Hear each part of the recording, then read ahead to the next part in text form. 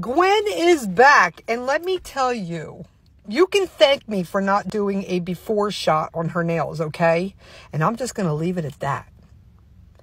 Aviana came downstairs to visit me, and I asked her what color I should do on Gwen because Gwen literally will let me do whatever I want on her nails. And of course, Aviana said, Aviana Rose. So that's what I grabbed. Aviana Rose from the Queen Diana 27 limited edition that sold out. Thank you to Sundara Nails. Don't forget, my Halloween line is launching this Saturday at 11 a.m. my time, Eastern time, and 10 a.m. Central time. Don't miss out. There's only a limited amount of sets. They're only being sold as sets, and once they're gone, they're gone. And you are going to love the colors. Look for my video and watch it. Okay? Okay. And thank you.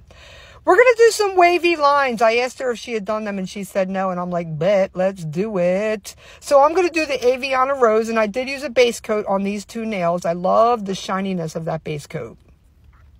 The reason why I use the base coat on this particular powder is because when I seem to do nail art on this, I say powder, but I mean like this acrylic powder, the polish kind of shifts and moves around as I move to the next nail.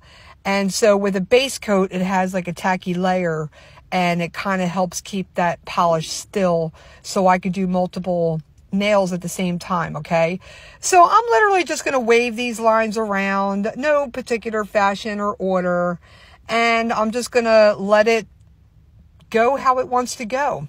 And I plan on going back and adding some white because white just makes these lines, these wavy lines, they make them pop. Now, I mean, when you add white to anything, it really does just bring it to life.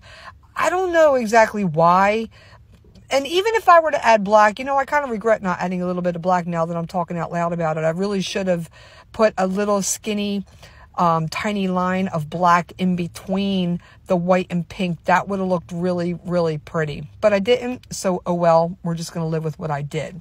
Now, I'm wondering at this point in the game, I know I want to put glitter in there, but what do I want to use? And I was like, yeah, silver, silver platinum. You guys know that reflective silver glitter and the reflective gold glitter and stuff? Well, this silver is on a different level. It has a whole different kind of reflective sparkle to it and it spreads well. It's a good coverage. So if you guys are looking for a good silver sparkle to add to your collection, I recommend that one. So after a top coat, guys, here's the final look.